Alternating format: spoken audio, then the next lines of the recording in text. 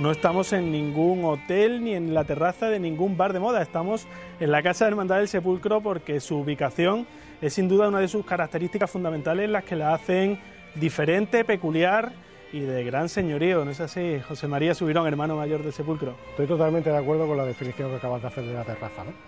Eh, como sabéis, esta planta pues se ha, se ha bueno, intentado por todos los medios que tenga una utilidad eh, social, ¿no? social y sobre todo de ocio. ¿no? Porque aquí, la verdad, en el sitio que estamos, en la esquina privilegiada que estáis viendo, mm, hay que dotar de contenido a, la Casa Hermandad. ¿no? Y, y nosotros nos planteamos que esta fuera una zona de, en que los hermanos se lo pasaran bien, ¿eh? estuvieran a gusto y sobre todo abierta a Málaga, en el sentido de que cualquier persona eh, tiene acceso a, estas instalaciones y puede hacer uso de ellas ¿no? con total garantía y tranquilidad. Entonces, como estáis viendo, pues las vistas son, son espectaculares, una esquina privilegiada, tenemos la, Alcazaba, el Teatro Romano, la esquina el, el Picasso y el futuro museo. ¿no? Y, qué queréis que os diga, que estamos encantados de, poder disfrutar de esto, sobre todo a partir de mayo es aconsejable venir aquí a tomarse algo, ¿eh? a esta terraza, porque desde luego es, una maravilla el clima y las vistas. ¿no? Hemos celebrado todo tipo de actos ya aquí, ¿no? desde bautismos hasta primeras comuniones, bodas y, comidas del hermandad, lógicamente. y, bueno, y estamos orgullosos de cómo ha quedado. ¿eh?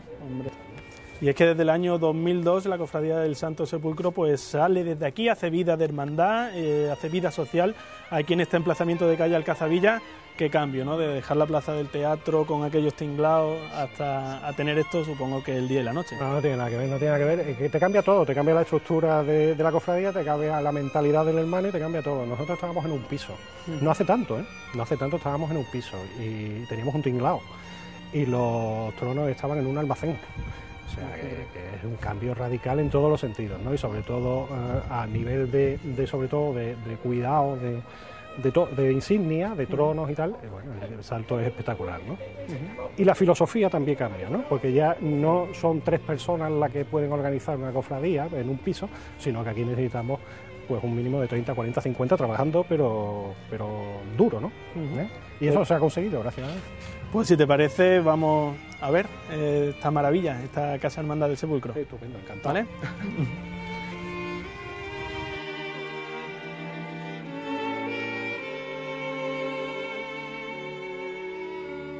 Nos encontramos ahora en la tercera planta de la Casa Hermandad del Sepulcro y bueno, vamos a conocer de manos de Francisco Miranda, consejero de la Hermandad, eh, esta sala en la que hay, tiene cabida pues prácticamente cualquier actividad, ¿verdad? Sí, desde el diseño de la, de la Casa Hermandad, desde un principio, esta planta estaba reservada pues, a, que aquí se celebrasen pues, los eventos de tipo sociales o culturales.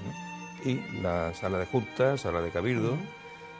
Y después se creó una, comisión desde un principio, que es el área sociocultural, que es la que, digamos, eh, administra la planta esta, que la formamos pues Carlos Padrón y yo y algunos otros compañeros más de la cofradía y compañeras, cuya misión es desarrollar eh, durante todo el año una actividad cultural y social de tal manera que bueno, el, estar implicado en un circuito tan cultural como está esta casa y tan privilegiada, eh, nos haga aportar modestamente, pero estar integrado en ese circuito. Entonces aquí pues, se celebran eh, regularmente ciclos de conferencias. Después eso lo vamos combinando con, otro tipo de eventos, como puede ser, por ejemplo, proyecciones, eh, películas, ciclos de cine.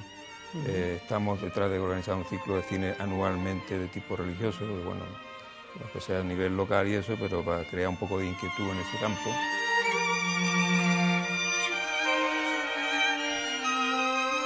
Seguimos bajando plantas, vamos por la segunda eh, de esta fantástica Casa Hermandad de la Cofradía del Santo Sepulcro y estamos en la planta administrativa donde se dan, eh, donde se concitan todos los despachos, albacería, el despacho del hermano mayor que es en el que nos encontramos, una planta que supongo que es de las que tiene mayor actividad, por, eh, sobre todo cuando llega la cuaresma, ¿no es así Carlos Padrón, consejero de la hermandad?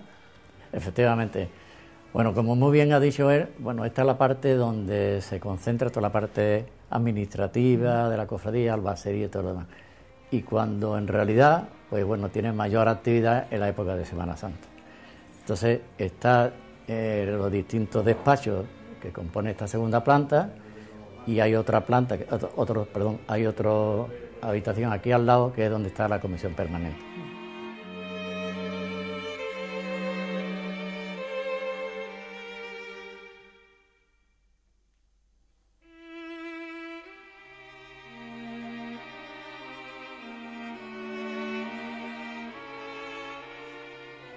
Entonces nos vamos introduciendo por este pasillo y tenemos lo que es la parte administrativa. En la primera, a mano izquierda, está lo que es secretaría.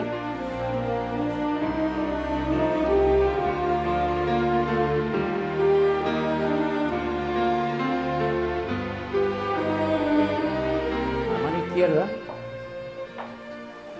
lo que es tesorería y albacería.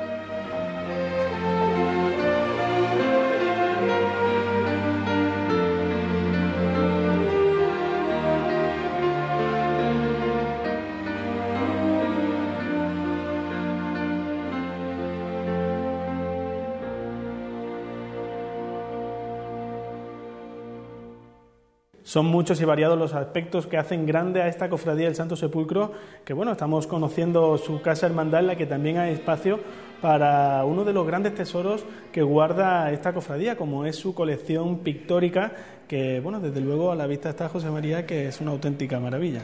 Pues sí, es una, una visión de, de, futuro que tuvieron los hermanos mayores pretéritos, ¿no? Y desde principios de siglo, pues desde Moreno Carbonero, que inició con Pedro Sáez, pues desde entonces ha habido un protagonismo de la pintura en la, en la cofradía, ¿no? La vinculación también con la Real Academia de Bellas Artes de San Telmo, que, sabéis que son hermanos mayores honorarios nuestros, pues tiene mucha importancia y a lo largo de este tiempo y se plasma en esta sala que estáis viendo. ¿no? Yo os dejo más que nada, más que hablar, os dejo que veáis las perspectivas, uh -huh. porque aquí veréis esta pintura, estas pinturas que son de, de, formato más pequeño son las de principio de siglo, pues de Álvarez Dumont, Berrobianco, uh -huh. Burgosón, etcétera, hasta, pues, ¿qué te digo yo? Pintores actuales como, como Torres Mata, Félix Rebello de Toro, eh, pues, veis aquí una colección bastante, bastante Virgilio, ¿no? Uh -huh. Una colección que recordamos, aunque eh, no, haya, calle, no, haya, que recordarlo exactamente, cada Viernes Santo sale a la calle ¿no? y se luce por todas las calles de, de la ciudad.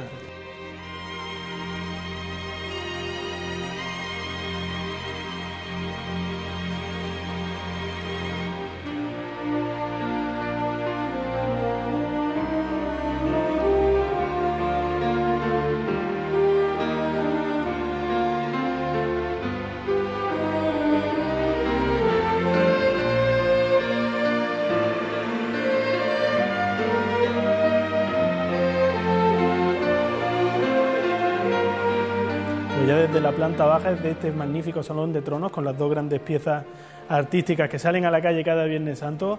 Nos despedimos, muchísimas gracias por acogernos, por enseñar a Málaga esta fantástica casa hermandad que bueno, abre las puertas cada Viernes Santo.